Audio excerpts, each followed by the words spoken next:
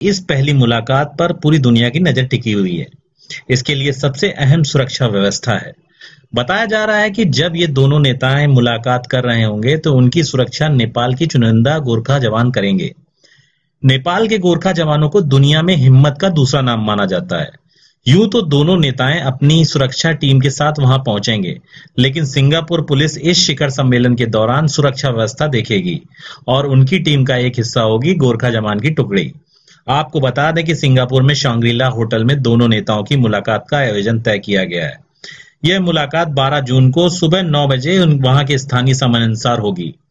बताया जाता है कि गोरखा जवान सिंगापुर में बेहद कम है और ये अधिकतर खास मौकों पर ही नज़र आते हैं। जैसे हाल ही में शंग्रीला होटल में हुई सुरक्षा मुद्दे पर कॉन्फ्रेंस के दौरान गोरखा जवान तैनात थे।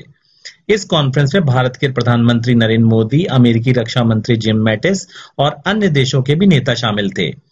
ट्रंप टीम की मुलाकात के मद्देनजर सिंगापुर पुलिस ने इन गोरखा जवानों को नेपाल की दूर दराज की पहाड़ियों से भर्ती किया है। इनके पास बेल्जियम निर्मित F N SCAR, SR rifles और पिस्टल जैसे एडवांस हथियार हैं। इन गोरखाओं की खास बात यह होती कि इन हथियारों के बावजूद ये बिना खुखरी की युद्ध की तैयारी नहीं करते। यह इनका पारंपरिक और पसंदीदा हथियार है। ऐसा माना जाता है कि जब गोरखा खुखरी निकाल लेता है तो वह खून बहाए बिना दुश्मन की जान निकाल लेता है।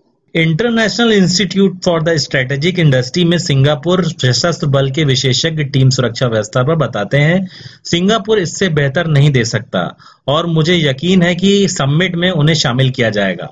हालाँकि दूसरी तरफ़ सिंगापुर पुलिस के प्रवक्ता ने गोरखाओं की तैनाती पर पूछे गए सवाल पर कोई जवाब देने से इनकार कर दिया।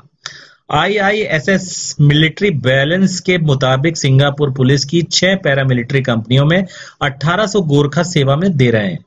गोरखा सैनिक का पश्चिम के साथ पहला संपर्क 1814-1816 में तब हुआ जब ईस्ट इंडिया कंपनी ने नेपाल के खिलाफ लड़ाई लड़ी। हालाँकि इस लड़ाई का अंत अंग्रेज़ों की जीत के साथ हुआ, लेकिन गोरखा जवानों ने उन्हें भारी नुकसान पहुँचाया था। गोरखाओं की युद्ध क्षमता से प्रभावित होकर अंग्रेज़ों ने इनकी भर्ती ब्रिटिश सेना में शुरू कर दी। अब गोरखा ब्रिटिश, भारतीय और नेपाली सेना में सेवा दे रहे हैं। इसके अलावा वे ब्रुनोई और सिंगापुर की सुरक्षा बलों का भी एक हिस्सा है।